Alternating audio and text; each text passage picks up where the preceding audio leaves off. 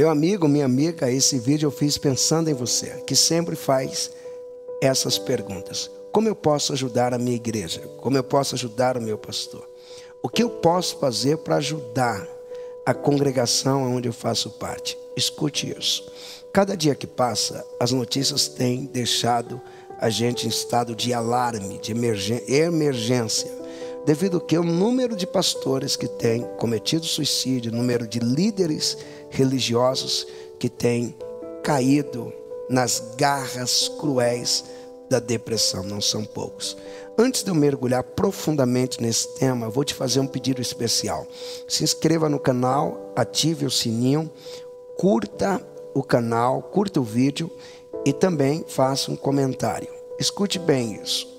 Não são poucos os pastores que estão sofrendo, pastores e líderes, e precisamos ajudar os pastores. Precisamos dar um apoio para eles, lembrando que os únicos pastores que sofrem são os honestos. Só eles sofrem. Pastores mau caráter, pastores mercenários, pastores que são psicopatas, eles nunca choraram pelos seus rebanhos.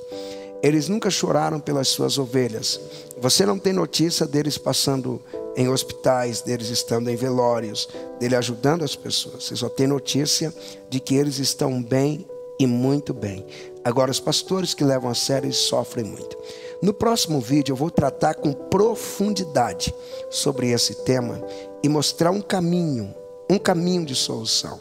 Muitas igrejas têm trilhado esse caminho. Muitos pastores têm trilhado esse caminho e eles têm encontrado de fato a solução e impedido que os seus pastores entrem em depressão. Eu estive numa igreja onde o pastor estava em depressão e a igreja também, a maioria em depressão.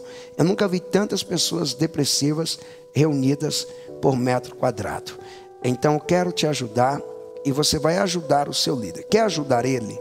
Quer ser ajudado? Quero ajudar os pastores honestos que estão sofrendo. Na descrição aí está o link do vídeo. Você entra lá e vamos tratar disso com profundidade, mostrando o caminho para você vencer tudo isso.